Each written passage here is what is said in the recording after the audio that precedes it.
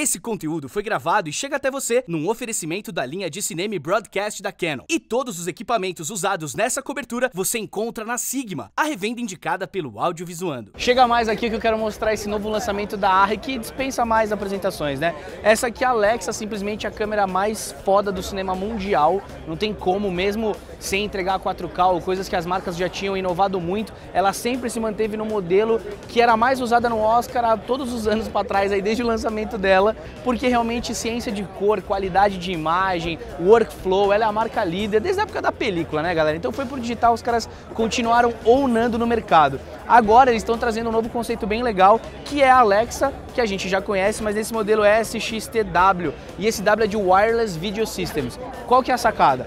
quatro antenas aqui, ó, Wi-Fi, ela foi anunciada agora, justamente para trazer é, a monitoração sem fio, então você consegue na mesa do DIT, você já consegue transmitir esse sinal para o diretor de cena ou para o cara que já está fazendo o, o, o, color ali em tempo real na captação, que é uma característica hoje né, dessa captação moderna. E mais do que isso, você pode controlar a câmera à distância, caso ela esteja num crane ou mesmo você esteja já com um drone paradinho ali querendo voar e coisa do tipo gruas e esse tipo de coisa, que é, é, é cable, cable camera, câmera cara, enfim.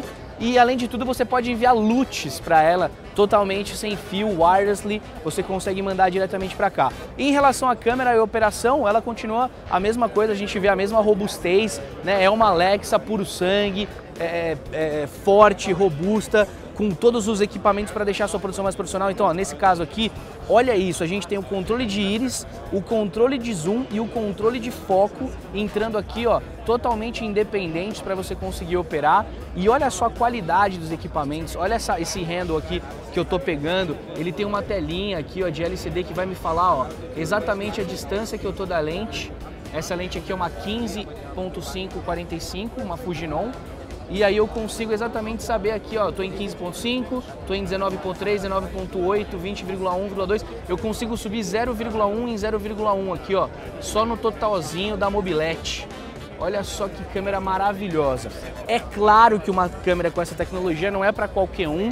Uma câmera dessa sai a partir de 77 mil dólares aqui nos Estados Unidos.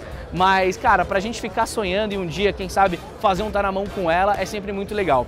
Então, se você gostou desse lançamento, se você acha que é uma aplicação legal, uma sacada legal da marca, comenta aqui embaixo, se inscreve no canal e a gente se vê no próximo vídeo. O lance é, as coisas estão cada vez mais poderosas e capazes de ser operadas à distância e de transmitir vídeo à distância. A gente se vê no próximo vídeo, fica ligado.